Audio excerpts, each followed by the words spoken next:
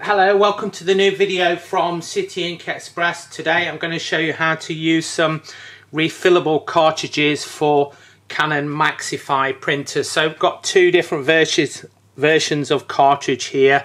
We have the PGI 1500 which is the smaller one and the PGI 2500 the larger one.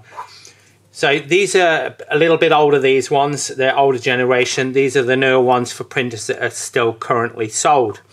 So on top of the cartridge, you can see we have the yellow pull tape. This is the breather hole. So when the cartridge is in the printer or first time use, you need to remove the yellow tape. Uh, otherwise no ink will be able to be delivered when you try to print. So that's your refill hole. So we're going to remove that. I'm not going to do them both. It's pretty self-explanatory.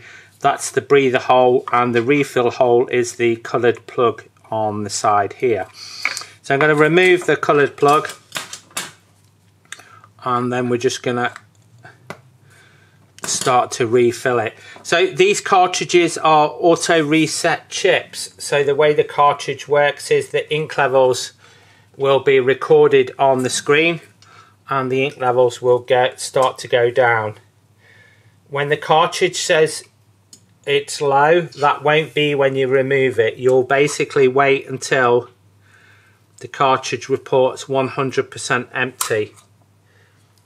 If you uh, if you remove the cartridges on a low warning and fill them up and put them back in, what happens is the screen tends to still say low and the cartridge will be full of ink. Now the reason for that is that the cartridge wasn't ready to be refilled. The auto reset function will only happen when it reaches 0%.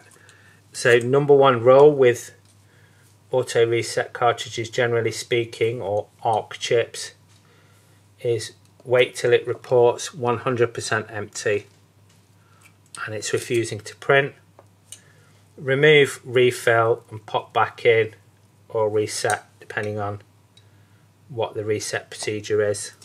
So as you can see with these, it's quite straightforward to do. It's not messy. And you'll just repeat the process for the relevant cartridge or all of them if it's first time install. And that's it. So it actually took quite a bit, that one. It took about 60 mil pop that to one side. Pop your your refill plug back in.